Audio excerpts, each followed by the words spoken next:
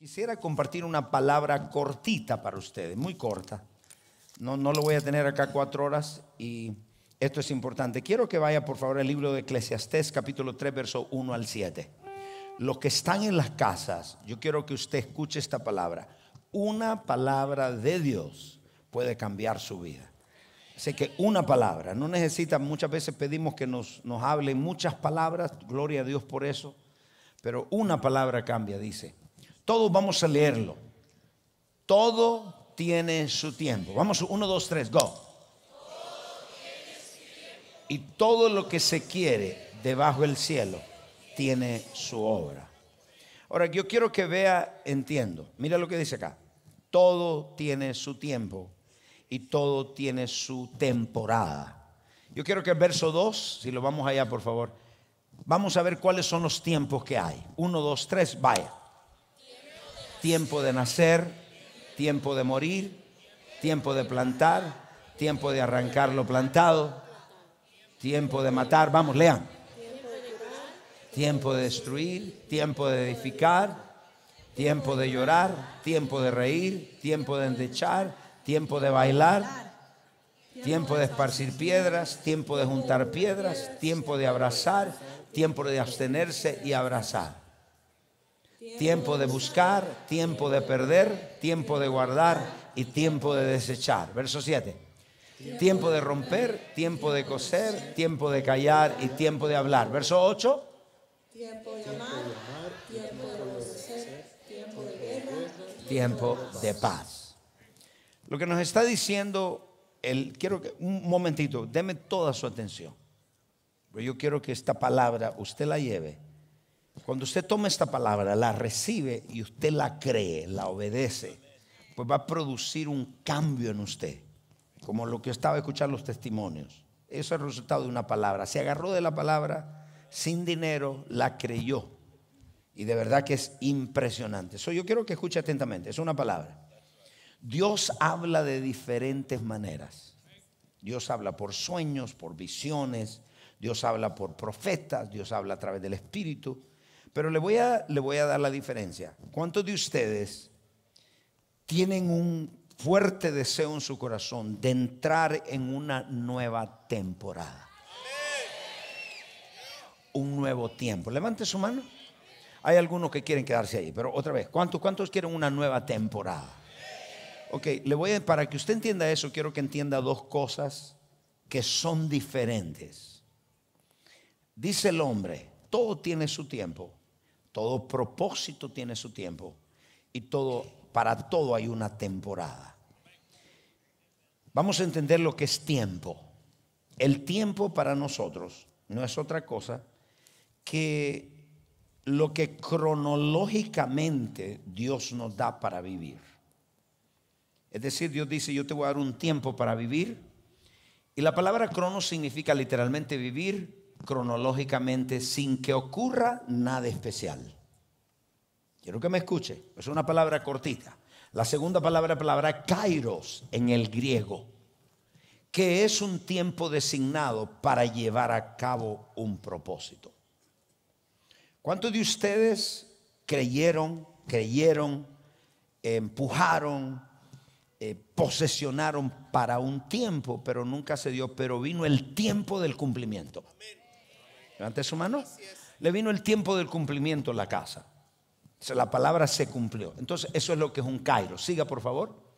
So, el tiempo es para, ¿para qué es el tiempo? El tiempo está dividido en tres etapas: pasado, presente, futuro. Muy simple. Pero la razón que si Dios no hubiese hecho el futuro, no hubiéramos quedado en el pasado. Si Adán, cuando pecó, se hubiera quedado en el pasado. Pero Dios nos da un presente para cambiar el pasado. Y nos da un futuro para que nosotros tengamos esperanza para dónde vamos. El tiempo, entonces el tiempo tiene un propósito. El tiempo, el tiempo es para aprendizaje. El tiempo se usa para desarrollar el carácter. Todo el tiempo. ¿Qué fue lo que dijo mi hijo allá? Dijo, todo ese tiempo no fue la casa. Le enseñé a mis hijos a creer. ¿Ustedes me escucharon? O sea que ese tiempo él fue sabio y dijo, este tiempo le enseñé a creer. La casa es al final. Entonces, el tiempo se usa para la preparación. Dios usa el tiempo para desarrollar nuestro carácter. El tiempo se usa para procesarte. Es decir, para lidiar con áreas en tu vida que son difíciles y Dios quiere lidiar. Siga, por favor. Siga. Y dice, entonces, ¿qué es el tiempo? Entonces, el tiempo es muy simple. Dios te dice, te doy un tiempo para que vivas en la tierra. El tiempo cuando vamos a vivir nadie lo sabe, solo Dios. Y Dios te dice, vas a vivir 100 años, 70 años, 50 años. Ok, en ese tiempo nada especial pasa. Pero hay algo que se llama temporada. El tiempo y la temporada son diferentes. Vamos a ver qué es una temporada. Una temporada es un cierto periodo de tiempo que está marcado por acontecimientos sobrenaturales. La temporada es un, un periodo de tiempo que está marcado por eventos sobrenaturales. Vamos a decir en lo natural. Míreme todos, por favor. Vamos a decir, la temporada es un tiempo que Dios, que nosotros ganamos, entramos, donde miramos que algo especial ocurrió en nosotros. Ya no es un tiempo que usted se levanta, duerme, se levanta, se acuesta, trabaja, se levanta. Ya ahora en la temporada es donde hay algo especial. Es un tiempo especial. Tres puntos importantes en una temporada. Mi temporada comenzó cuando yo conocí a Jesús como mi Señor. Esa es la temporada más linda. Segundo, cuando nosotros formamos una familia. Y tercero, cuando fuimos ordenados al ministerio. Esas son señales de que nosotros estamos entrando en una temporada. Entonces vamos allá, por favor. Y dice, hay dos temporadas, la natural y una sobrenatural. O sea que no, quiero que me vean todo. En el tiempo nada ocurre. En el tiempo ese levantamos, dormimos, acostamos, comemos. Pero cuando estamos nosotros en una temporada, ya hay algo especial. Dios está ahí. Ya Dios interviene en nuestra vida. ¿Estamos acá? Siga, por favor. Entonces, siga, por favor. Entonces, una vez que... Siga, siga, siga, por favor. Las señales que usted está entrando en este periodo especial, no como en Cuba que le dicen periodo especial cuando no hay nada. No, este periodo especial es diferente. El periodo especial acá es el favor de Dios contigo. Esta temporada, por ejemplo, los basquetbolistas tienen una temporada y la mayor parte son 10 años, donde están en el pic de su carrera. Los, los futbolistas, los soccer players, Lionel Messi es el mejor del mundo. Es el mejor, es el mejor Lionel Messi. Su temporada se está terminando. Ganó ocho balones de oro. Ningún jugador es porque estaba en su temporada. Cuando tú estás en tu temporada, porque es un tiempo marcado con el favor de Dios, te ocurren cosas y tú dices, ¿cómo me ocurre eso a mí? Porque mira lo que pasa. Aquí te está poniendo buena la cosa. Las cosas suceden para ti y tú no haces que sucedan. Cuando estás en tu temporada, las cosas te suceden a ti. La gente te busca a ti hay dos negocios, uno acá y el otro acá. Yo voy al negocio de, mi hijo allá, el Yamil, y voy allá y toda su cuadra es de restaurantes. Y cuando yo voy al de él, siempre el de él está lleno y el resto están allá vendiendo comida para darle a que pruebe, que entre. Y el de él siempre está lleno porque él está en su temporada. Oye, Yamil, yo pensé que ibas a gritar, hijo, vive. Yo pensé que ibas a decir amén, amén. Fuerte ese aplauso. Dios tiene una temporada para ti. Estuviste en el tiempo donde nada pasaba, donde te sentías solo, triste y estabas pasando por muchas cosas. Y Dios dice, hoy, el 2024, te voy a dar una temporada marcada por favor, marcada por gracia, marcada por eventos sobrenaturales. De la nada voy a hacer que las cosas te sucedan. Dos, las cosas vendrán fácilmente. Cuando uno esté en la temporada, las cosas le vienen tan fáciles. Y tú dices, uy, pero qué fácil. Sí, pero es que estás en tu temporada. Y Dios está metido. el favor de Dios está metido en tu vida. Número tres, lo inesperado ya no lo es. Ya no quedas esperando, sino que empieza a ocurrir. Siga, por favor. Las oportunidades son normales. ¿No me entendieron? No me entendieron. Cuando entramos en nuestra temporada, las oportunidades son normales. ¿Qué quiere decir? Que se te abre un negocio, se te abre una, una relación. Y tú dices, pero pero antes, ¿por qué no se me daban? Porque no era tu temporada, estabas en el tiempo donde nada ocurre, pero ahora ya estás en tu temporada. Dile a que está al lado, yo veo que estás en tu temporada. En esta temporada, eh, las temporadas, es, escúcheme, cuando uno esté en su temporada, uno está en demanda. ¿Cómo es la cosa allá, Manny? Uno está en demanda. Hay mucha gente demandando cuando todavía están en el tiempo. Y no han entrado en una temporada. Cuando tú estás en tu temporada, todo el mundo quiere, te quiere a ti. Te dice, no sé por qué, pero yo te quiero a ti. No sé por qué no le voy a dar el negocio a él, yo te lo voy a dar a ti. Dile que te lado, Señor, temporada, la quiero. Temporada, yo como esa temporada, la quiero, la recibo. Entro a mi temporada. Las temporadas son sobrenaturales, no son provocadas, son sobrenaturales. Y número cuatro, requieren, seis, las temporadas requieren siempre una inversión. Si es una familia, tú le haces algo, le das un cariño, le das un abrazo, algo a esa persona, porque siempre las temporadas entran así. Siga, por favor. So, ¿Cuál es el propósito de las temporadas? Las temporadas van de acuerdo a nuestro propósito. Voy, vamos a seguir porque hay mucho que hablar allá, por favor. ¿Cómo prepararse para tu temporada? Vuelvo a repetir todos. Dios nos dio el tiempo para levantarnos. Nos dio el tiempo para comer, para dormir, etc. Cronológicamente vivimos una vida así.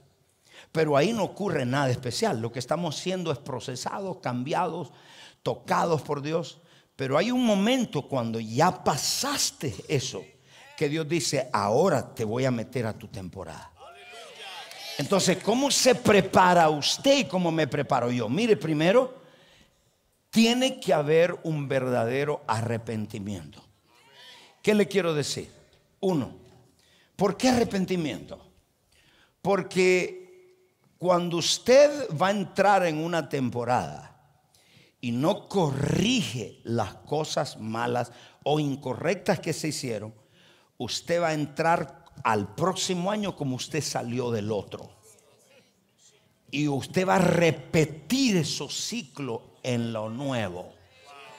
Por eso es que el arrepentimiento es el permiso a Dios para que remueva todo lo malo o lo incorrecto que hicimos. Digan amén.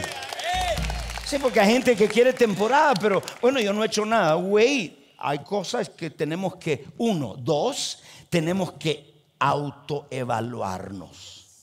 Señor, sinceramente, yo hice esto incorrecto, eso y este correcto, y empezamos a evaluar nuestra vida. Número tres, tiene que acondicionarse para su temporada. ¿Qué significa acondicionarse? Cuando viene el frío, ¿qué usted busca? Ropa para frío. Entonces empiezan a cambiar todas las cosas en las tiendas. Empiezan a cambiar todo en las tiendas porque nos estamos acondicionando. ¿Cuántos se van a condicionar? Entonces, número cuatro, debes pasar la prueba. ¿Qué significa pasar la prueba? Que hay muchas personas que todavía no, todavía están con la mentalidad atrás. yo pasé por todo eso, me hicieron esto. Dice la Biblia, o no hagas memoria de las cosas pasadas y mira hacia adelante, que hay una nueva temporada. Oh, aleluya. Y empieza hoy. Dije, empieza hoy. Oh, aleluya. I need help. Oh, aleluya. Tu temporada siempre está relacionada con el conocer a otras personas. ¿Qué significa? Cuando alguien me conoció a mí, empezó una temporada. Cuando alguien te conoció a ti, conoció una temporada. Mire, ya usted no me creyó para usted. Cuando alguien te conoció a ti, dice, wow, desde que yo lo conocí apóstol, algo, una temporada nueva me comenzó. Cuando alguien te dice, yo te conocí a ti y como que fue, algo me pasó. Porque las temporadas comienzan y vienen en forma de oportunidades en una persona no sabes que esa persona te necesita a ti y tú lo necesitas a él. ¿Cómo te preparas? Evalúate. Chequéate, Señor, yo no quiero repetir los mismos errores, yo no quiero vivir en depresión, yo no quiero volver a lo mismo, yo me arrepiento en el nombre de Jesús. Y tercero, escúcheme, las temporadas comienzan conociendo a alguien. Número cuatro, seis, toda temporada se sustenta con la madurez. Cuando no tienes madurez, Dios no te la renueva. Dios solo renueva esas temporadas gloriosas cuando nosotros tenemos madurez. Todas las temporadas comienzan con un cambio del corazón. No podemos entrar a donde Dios nos tiene si nuestro corazón no cambia. Tiene que haber un cambio. Dije amén. Seguimos allá, por favor, siga allá. Y le voy a decir algo, el número 8 no está ahí, pero se le digo. Toda, temporada, el prepararse, tenemos que siempre, escúcheme esto, se requiere obediencia. Se me olvidó ponerla allá. It requires obedience, obediencia. ¿Qué significa la obediencia? Bueno, muy simple. La obediencia, eh, Dios te da una palabra, Tú escuchas la palabra del púlpito, usted lo obedece y mire los resultados. Entonces, ¿cuántos de ustedes aquí fueron heridos por alguien en el 2023? Por casualidad, porque esta iglesia es tan madura que no lo hiere nada. Levante la mano, por favor. Fuimos heridos. Ok, no me entre el otro así. No quieras entrar a tu... entro a mi temporada con una yuca dentro contra el hermano que está al lado. No, Señor, tienes que perdonar. Y la madurez es la que sostiene, es la que sostiene estas temporadas que Dios nos da. Yo conozco apóstoles que Dios nunca renovó esa temporada porque nunca maduraron.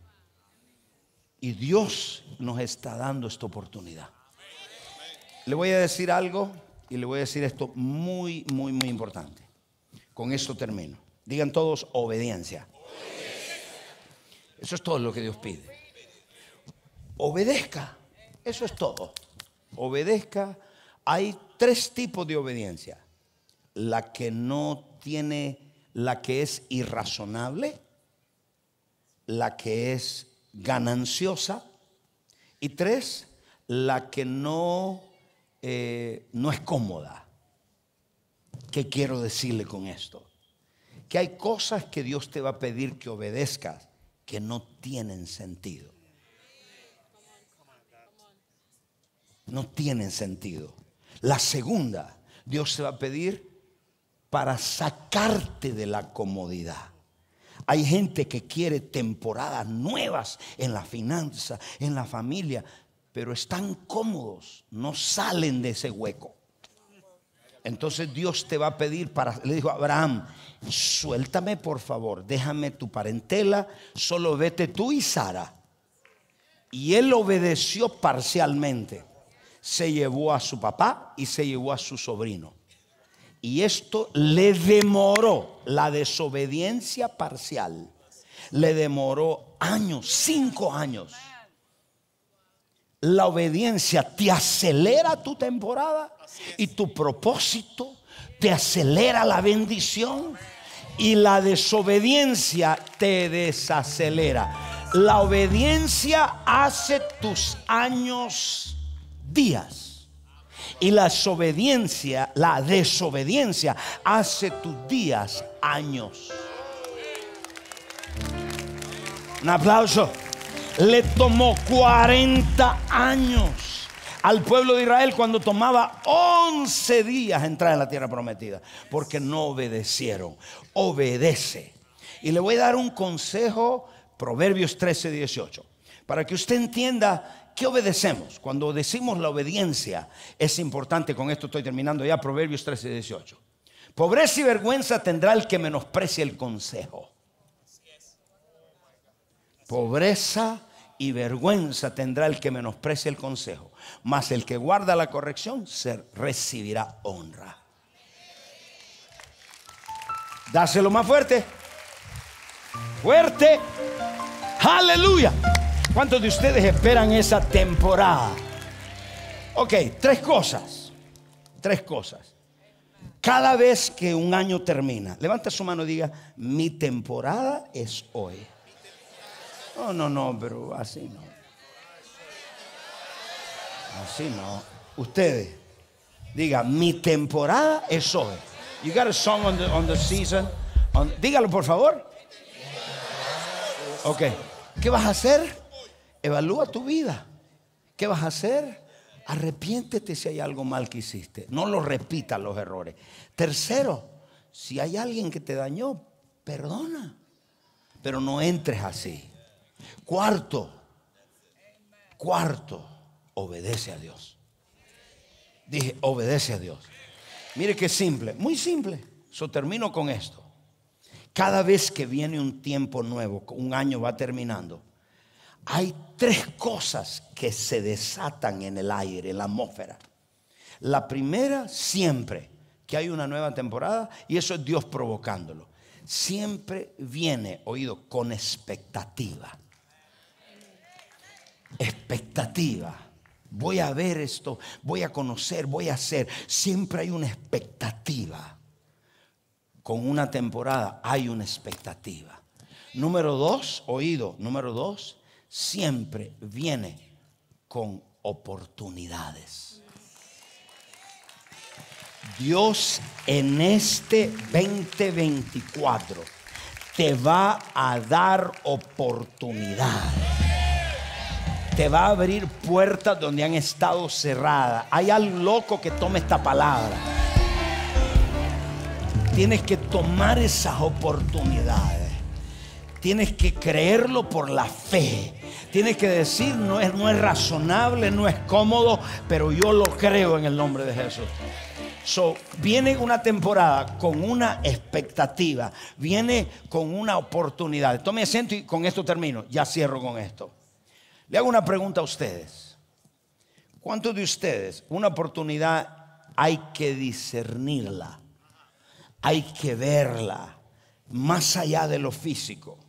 ¿Cuántos de ustedes cuando vinieron a David y le dicen a David, eh, David, hay un gigante que viene a desafiar al pueblo de Israel todos los días, pero todo el mundo le tiene miedo? Y dijo David, esta es mi oportunidad.